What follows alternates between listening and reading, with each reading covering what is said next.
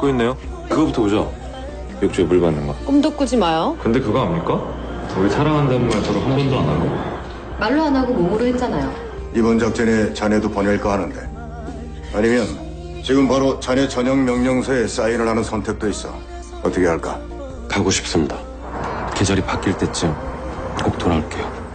서장사 복귀했구나. 근데 최 중사님 여기 어쩐 일이세요?